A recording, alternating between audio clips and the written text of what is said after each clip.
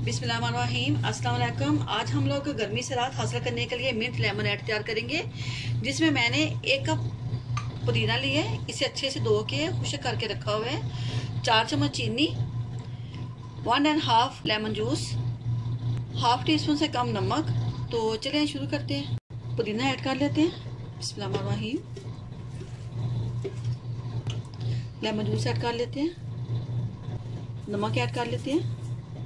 चीनी ऐड कर लेते हैं। बिस्मिल्लाहिर्रहमानिर्रहीम तीन चम्मच मैंने चीनी ऐड की है, नमक और चीनी आप अपने टेस्ट के हिसाब से डाल सकते हैं। हमने दो गिलास का बनाना है। पानी ऐड कर लेंगे। बिस्मिल्लाहिर्रहमानिर्रहीम दो गिलास हमने पानी ऐड कर लिए। तो इसमें ग्रैंड कर लेती हूँ। तो इसे हमने ग्रैंड कर लिया अब हम इसे छान लेते हैं। बिस्मिल्लाहिर्रहमानिर्रहीम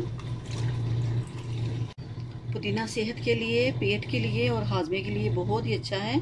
तो आप इसे इस शरबत को डेली बनाया करें। जैसे आजकल गर्मी है तो इस दौरान आप रोज़ाना बनाएँ अफ्तारी में तो ये बहुत ही फ़ायदेमंद है। इसे हमने अच्छे से छान लिया। आइस ऐड कर लेते हैं। आप जितना ठंडा करना चाहते हैं तो उतना कर लीजिएगा। जूस ऐड कर लेते हैं। बिस्मिल्लाह कलर देखें इसका माशाल्लाह कितना अच्छा आया ना, ग्रीन।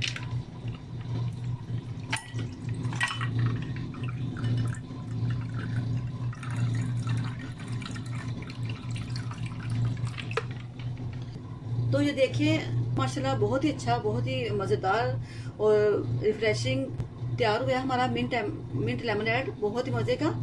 तो आप इसे डेली रूटीन में ज़रूर बनाइएगा और ये सेहत के लिए बहुत ही अच्छा है, मुफीद है और ये आपके दिल को ठंडक पहुंचाएगा। तो इसे आप रोज़ाना बनाइए अफ्तारी में। तो इंशाल्लाह ये सभी को बहुत पसंद आएगा और सब फरमाइश करके बनवाया करेंगे आपसे।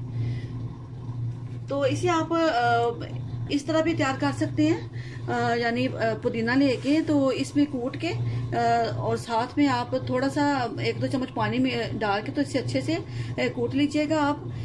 फिर आप ज़्यादा पानी डाल के तो इसका ज़्यादा जूस तैयार कर लीजिएगा। फिर चीनी और नमक डाल के, और फिर इसे छान के अच्छे से, और आइस वगैरह डाल के ठंडा करके जूस अच्छा सा, फिर सबको आप सर्व कर सकते हैं।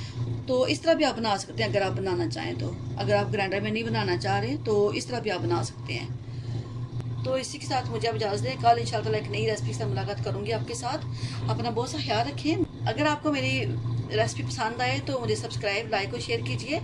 अल्लाह हाफिज़ अस्सलाम वालेकुम